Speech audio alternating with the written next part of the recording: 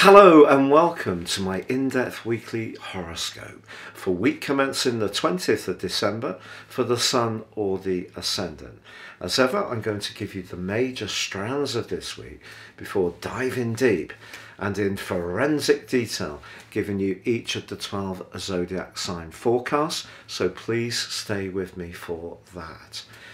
This week is going to see the Sun arrive in the sign of Capricorn on Tuesday, but this also heralds the winter solstice. So we're entering the fourth quadrant of the Western tropical astrological year, so the last 13 weeks run.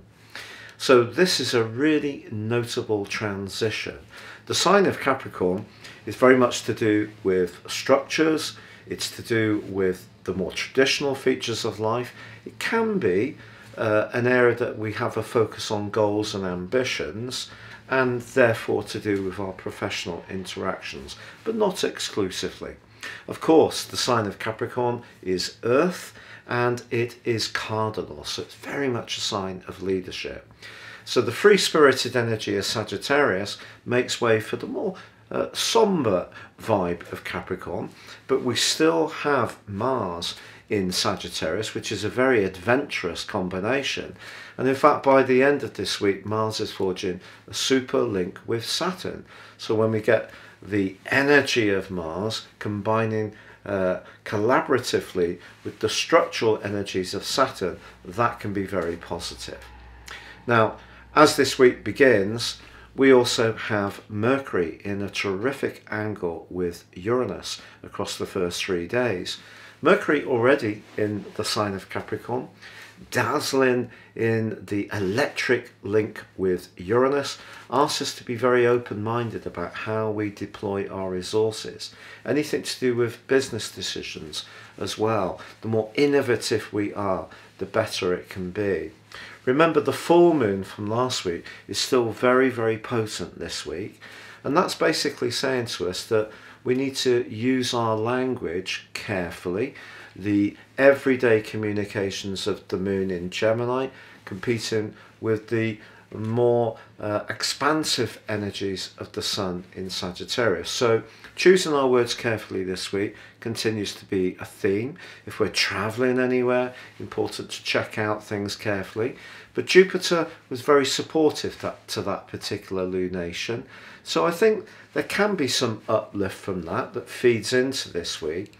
But by Friday, by Christmas Eve, we do have the square between Saturn and Uranus repeating itself exactly for the third time this year. But you know, the truth is, within a few degrees, they've actually been agitating at one another pretty well since about the second week of January. But this just reminds us that the liberty that Uranus wants us to have has to be balanced against the responsibilities that Saturn wants us to show. So there could be something that is stopping us being quite as free as we would like on Christmas Eve.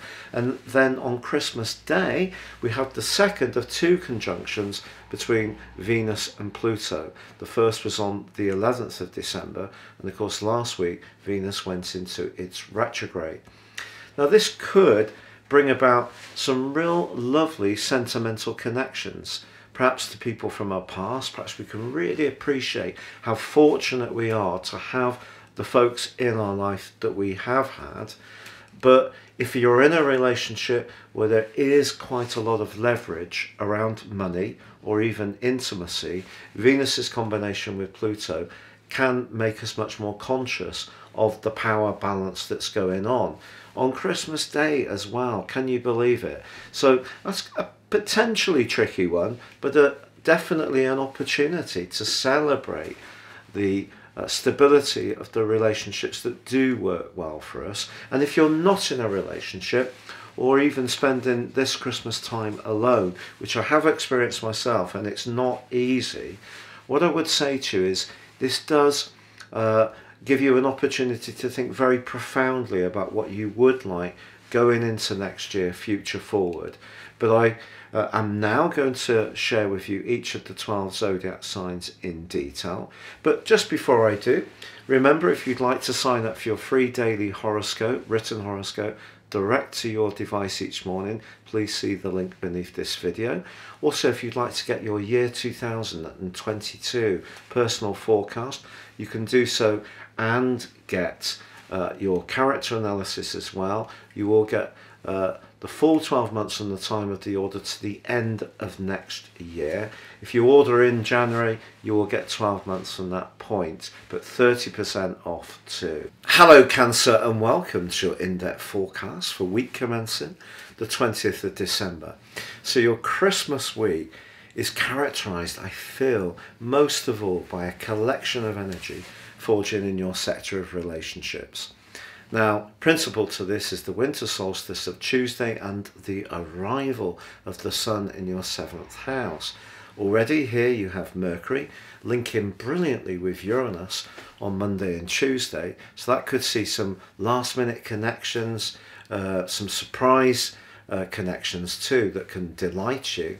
And then, of course, we have Venus and Pluto coming into an exact conjunction on Christmas Day. If you're fortunate enough to be with people who really, really mean everything to you, then this can be a beautiful time for you. If you're with people where there's politics hovering, it could be more challenging. Christmas Eve, for example, sees a square between Saturn and Uranus reactivated.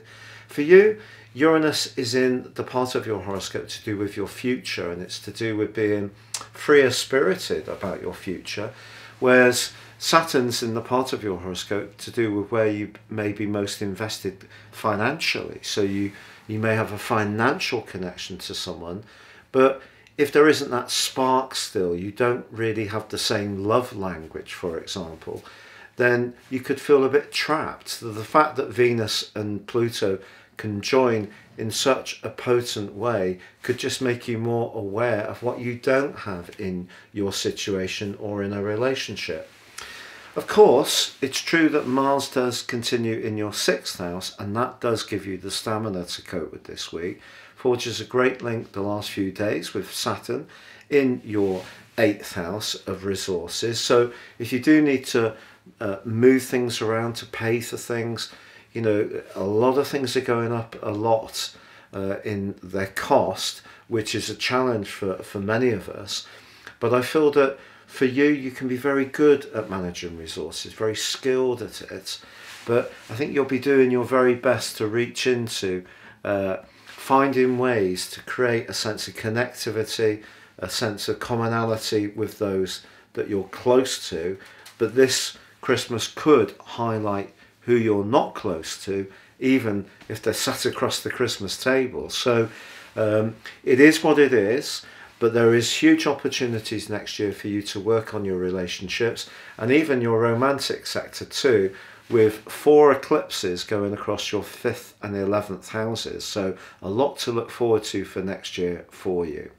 I hope you have a wonderful Christmas time and goodbye for now.